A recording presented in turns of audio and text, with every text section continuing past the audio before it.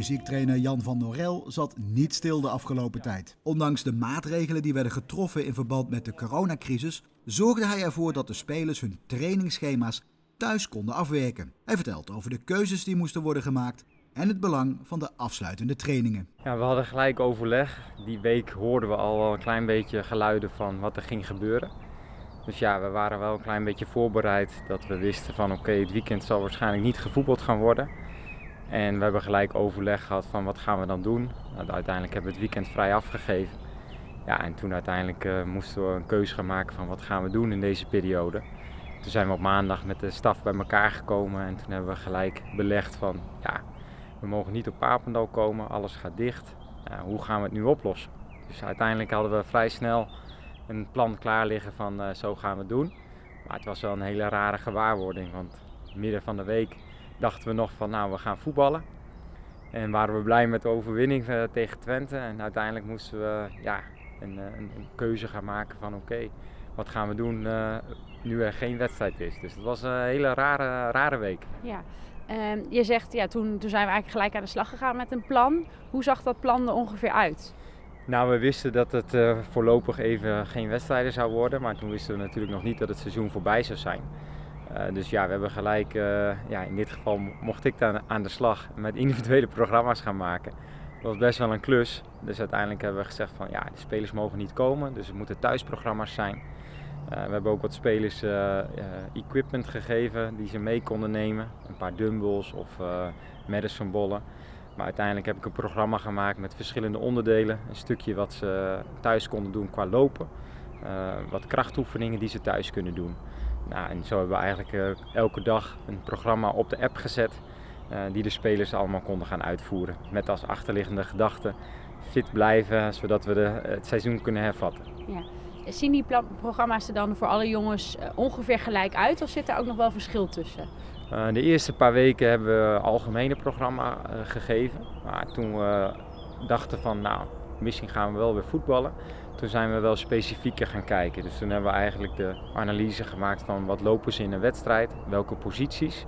En toen hebben we voor de verschillende posities hebben we verschillende programma's gemaakt. Dus ja, in onze speelstijl moeten onze backs eh, best wel veel lopen en de middenvelders. Dus die moesten in dit geval met de individuele trainingen ook letterlijk meer doen.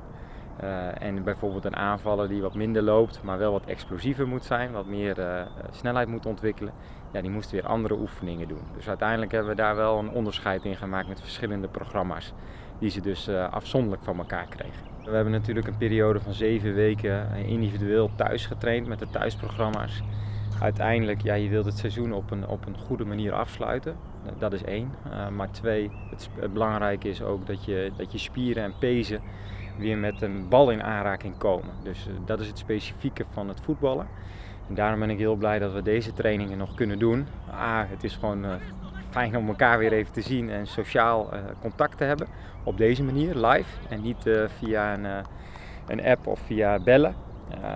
en het mooie is dat je nu weer met bal kunt trainen. Dus je kunt allerlei vormen aanbieden dat spelers weer een bal kunnen trappen. Nou, en dat is gewoon voor je, voor je spieren, maar ook voor je pezen gewoon super belangrijk omdat dat een hele specifieke belasting is. En die kunnen we nu toch nog even een paar weken meegeven.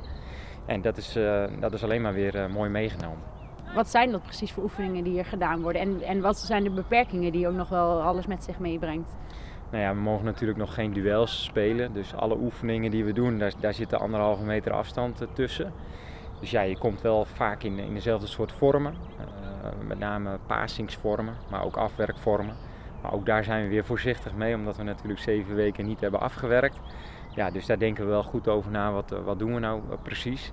En tegelijk wil je ook gewoon dat er een stuk plezier is. Dus we hebben best wel wat vormpjes gedaan in een circuittraining.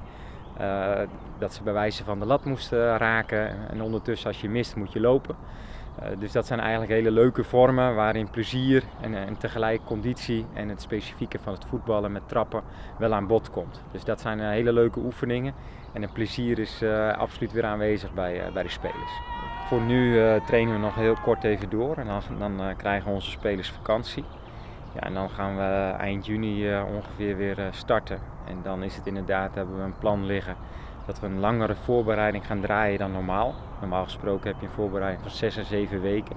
Dat gaat nu langer worden. Dus ja, we gaan de spelers langer de tijd geven om, om weer te wennen. En we hopen dat tegen die tijd dat de regels weer versoepeld zijn. En dat we in ieder geval weer onderling een 11 tegen 11 of andere partijvormen en positiespelen kunnen spelen. Waardoor wij weer specifiek aan de voetbalconditie kunnen werken. En dat is eigenlijk ons plan. En daarom hopen we ook dat we, nou ja, nu hebben we wat tijd gewonnen door alvast wat te trainen. En het specifieke van de trappen terug te krijgen. Nu krijgen ze straks toch een periode dat ze even terug kunnen naar hun familie en uh, tijd voor andere dingen. Ja, en dan hopen we dat we straks eind juni weer het specifieke van duels kunnen krijgen. Ja, en ik hoop heel erg dat we in augustus, ja, dat je toch weer vriendschappelijke duels alvast mag gaan spelen. En dat zou wel heel wenselijk zijn, uh, dat we die vrijheid weer krijgen vanuit, uh, ook vanuit de overheid. Als dat weer is toegestaan en verantwoord is. Ja, dan hopen we dat we tegen die tijd weer duels kunnen spelen. En dan hoop ik dat we in september weer, weer voor het EGI kunnen gaan spelen.